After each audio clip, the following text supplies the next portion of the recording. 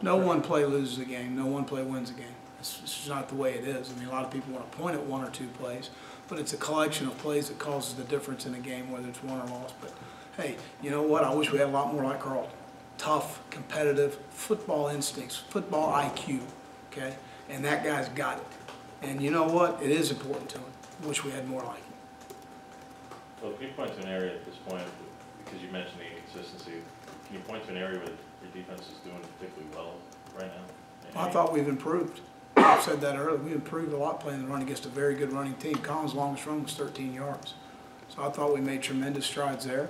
And I thought that, uh, you know, again, their third down was a little skewed because you got third, uh, four third, third and one situations, which against a team like that, but, you know, again, we, we, we- we battled our butt off. We competed hard in the game. And to, to get ourselves to 24-24 at the end of the game, uh, to respond down there, to, to force a field goal. I mean, there's a lot of positives from an effort standpoint, from a leverage and formation standpoint that maybe don't show up as far as the statistics are concerned. But statistically, after regulation, it's probably our, one of our better games too. So there's a lot of improvement. You're talking about Carlton and the amount of emotional investment he has in this.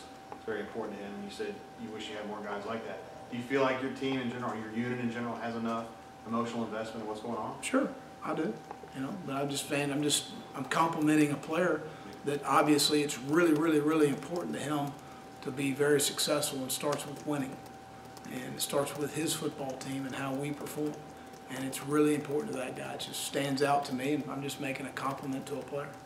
On the interception that Chris had, he was really, really deep at that point.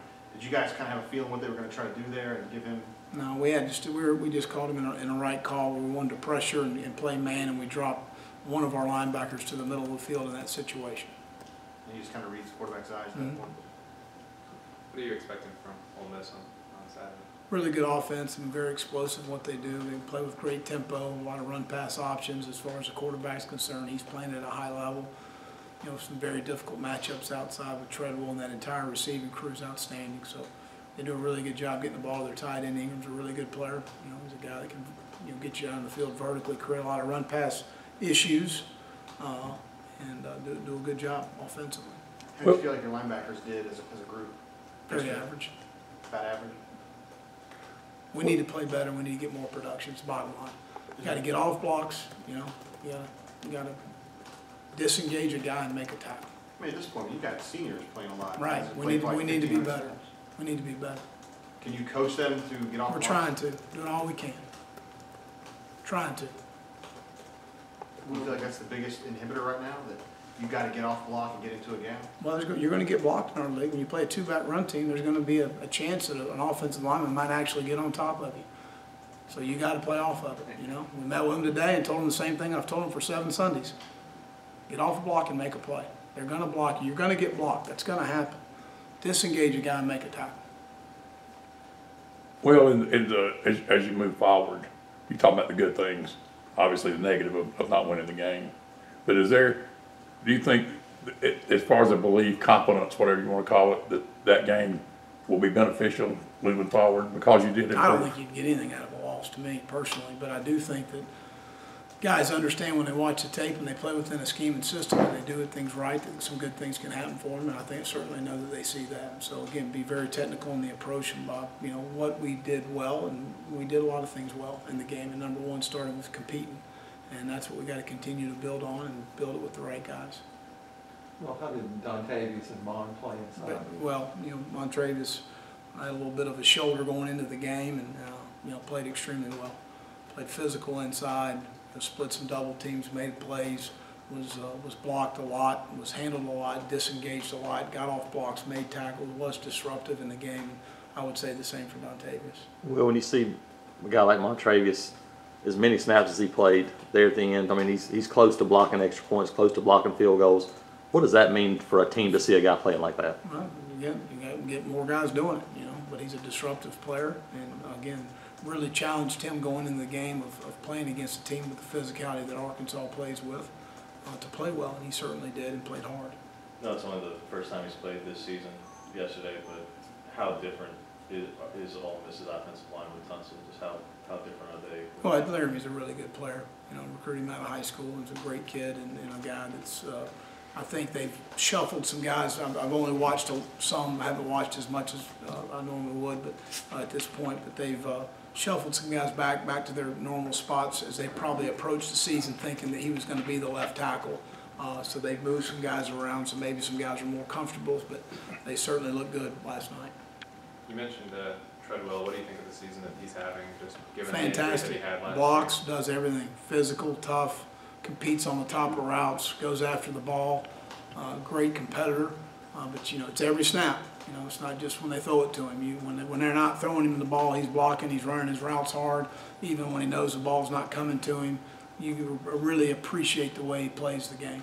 Do you think he'll be a little more emotional about this game because of what happened last year against all? I, you know, based on the film, he's pretty emotional every game. The guy competes and plays, and you really appreciate the way he approaches the game.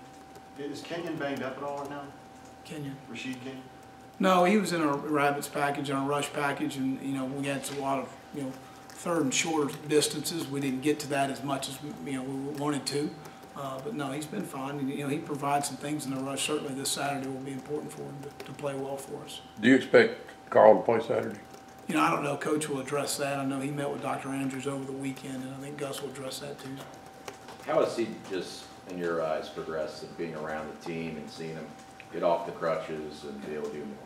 Well, I mean, again, his presence, you know, means a lot for our guys. He's certainly, you know, a leader on our defense and a guy that, uh, is an experienced, good football player, a productive football player. And part of being a leader is you gotta be productive, you know, so he's a guy that's been there and done that at a high level and, uh, continues to, uh, to, to provide good leadership for our guys. And certainly, hopefully, if we get him back on the practice field this week, uh, will be a huge bonus for us from, a- from a mental standpoint as much as anything. I know coaches don't do it often at, at Warf at all, but do you ever look back and think, I wonder what it would have been like if we had him here and here No, and here? it's, it is what, injuries are part of the game. Let's move on.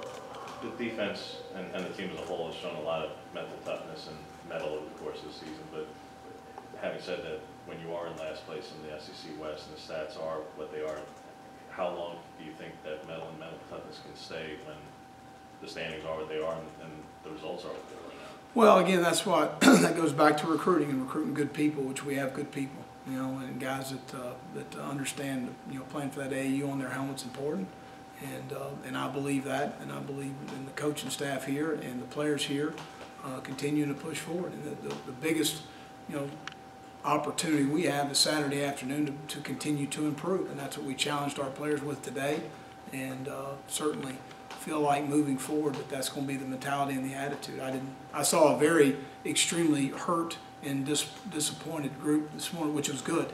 You know, uh, and I've been in some other situations before in my coaching career where you walked in Sunday and you wondered if you won or lost. And certainly the group today was a, was a dis, dejected bunch. And so, to me, that's a positive because it's important to them. And, uh, and I'm, all the signs to me that, uh, to lead to this football team is going to continue to fight. And for you